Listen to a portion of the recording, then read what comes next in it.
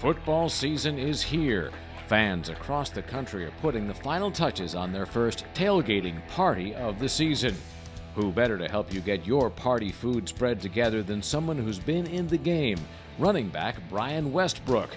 Westbrook suggests starting with foods and snacks that everyone will love. What I usually have on my food selection is uh, pizza, hot dogs, and subs. They're always winners. Another winner is beef jerky. And when I'm looking for jerky, I always go for Jack Link's jerky because it tastes great and it's good for you. I mean, it has, it's low in fat, low in calories and carbs, and it's naturally packed with protein. Once you have your food selected, it's time to focus on drinks. So I always have Coke Zero.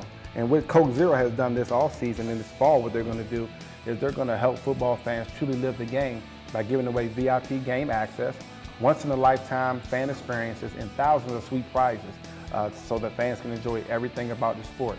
Log on to mycokerewards.com and enter to win tickets to season-ending college rivalry games. For even more information on planning a tailgating party, log on to moretipsforyou.com.